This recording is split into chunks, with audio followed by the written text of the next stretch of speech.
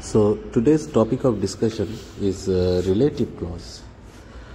That is chapter number 15 and page number I'll soon show that one. So first what is provided? Underline the pronouns which relate to the nouns that come before them. So you'll be you'll be having a pronoun and what you'll have? You'll have a noun that comes before them. Just like this one you can see I'm encircling the nouns here. She liked the dress that I had gifted her. You can see the term that written here. Second, also, you can see we went to their house that has been newly built. So here I am encircling that again. The man whose hand was injured had been admitted to the hospital. So here I am encircling the term whose. My book, which you returned last week, is missing. So here I am encircling the term which. Her aunt, who is the headmistress of our school, is very strict. Further, I am going to underline the remaining one, last one. The clock, which broke yesterday, has been repaired. So, all these things which I encircled are the pronouns. Now, let us have a look at the nouns. Now, if we look at these sentences carefully, we will have every time a noun before this pronoun. You can see dress, house, we have man, we have book, we have aunt, and we have the clock. So, as per the definition, what is provided? Underline the pronoun, underline the pronoun which relate to the noun that come before them.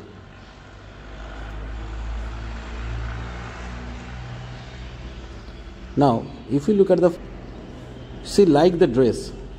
That is one part of the sentence, independent part, that I had gifted her. So, this one you can say, this is the relative part. So, that I had gifted her, it starts with the relative pronoun that, so this will be called relative clause. And you can see the term days is the noun, and that is getting related to the next part with the use of that. Similarly, in the second one, the noun house, that is getting related to this second part using the pronoun that. The man, man is obviously noun getting related to the next part with the use of that. Whose hand was injured? So the man has been admitted to the hospital. You can see this is the main clause and remaining one is the relative clause. My book, which you returned last week, is missing. Now you can see the book, the term is noun and which, that is the relative pronoun. So this way we can make one primary understanding of this chapter. The pronoun that uh, you have identified are all relative pronouns. What are relative pronouns? Relative pronouns join two or more clauses. A clause that begins with a relative pronoun is a relative clause. So that part of the sentence begins with a relative pronoun is called relative clause. This clause is a part of sentence and cannot exist independently. So this is dependent clause. It describes the noun that comes before it in the main part of the sentence. So no need to memorize the definition. Try to understand this one by going through the examples. I'll always tell you to avoid definition. Instead, learn this grammatical part using examples. Underline the relative clauses in the sentence from the previous exercise. She liked the dress that I gifted her. Now you can see that, that is a relative uh, pronoun, and the part of the sentence start that I had gifted her, that should be the relative clause. We went to their house that had been newly built. So you can see easily you can underline these things. The man whose hand was injured had been admitted to the hospital. Whose hand was injured? Got it? Now, next we'll move. This is page number 121. My book, which you returned last week, is missing. So, which you returned last week, that is the uh, relative clause, and my book is missing, that is the main clause. Now, next one, who is the headmistress of our school? Which broke yesterday. These are all relative clauses. These just come, this relative clause just come after the noun, and secondarily, it relates the noun to the remaining part of the sentence. the relative clause in each sentence begin with a wrong relative pronoun Identify it and mention the correct relative pronoun. So what is there? The relative clause in each of these sentences, what happens to them? They begin with a wrong relative pronoun. Now what we have to do? We have to identify the error and mention the correct relative pronoun. The money you gave me is spent already. Second one, she is the professor which is our new neighbor. So in these sentences what we have to do first we have to go through or understand which are the pronouns used. First one as you can see the wrong used here is who. Second one you can see which. Third one you can see where. Then you will find the term who and the next one we have which next one we have which further we have who so all these things should get changed. We have to use the proper one. First one, the money, who you gave me. So instead of who, better to write that you gave me. She is the professor who is our new neighbor. Here we are not changing the uh, arrangement of the sentence Instead, we are doing what? We are just going through the errors. Have you received the mail? Where I sent you in the morning, it should be which or that. You can use which or that. I always eat for lunch who I like best. Instead of who, it should like what I like the best. She called the child which had gifted the flower. It should be who. There is always some hope who can cheer us up. That can cheer us. So these are the errors mentioned here in these sentences. And what we have to do? We have to identify the errors. Same sentence or same type of question you will get, you may get in exam. Error correction. Now next one, what is provided? You will have uh, two sentences and you have to join these sentences using suitable relative pronouns. That means relative clause will be formed. The cat caught the mouse, it was running around the house. Okay, the cat caught the mouse, instead of it I am writing, I am changing it with which was running around the house. Second one, here are your books, I found them on the table. Here are your books.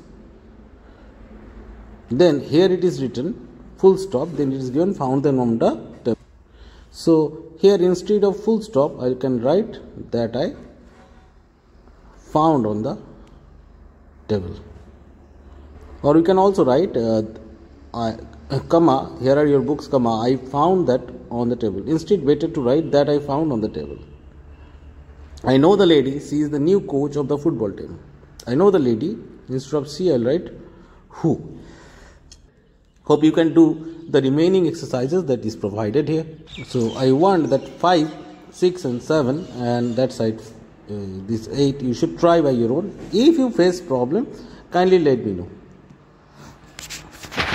Now it is written we can omit the relative pronoun when it is the object of the verb. So let us go through the examples. I want the pain that you brought yesterday. Now you can see pain is the object of the verb want. Okay, and what is written? That. That means the pain only. That means the object. I want the pain you brought yesterday. So you can easily see uh, relative pronouns is omitted. Try to understand this one once more. What is written? I want the pen. So pain is the object of the verb. Then it is written that you brought yesterday. You can see that is replacing the term pain. that means that gets uh, that the term changes into what? Into the object of the verb. Second one she gave me the same bucket which you had given her. Bucket is the object of the verb and here it is which you had given her. Which means which one? Which means the bucket.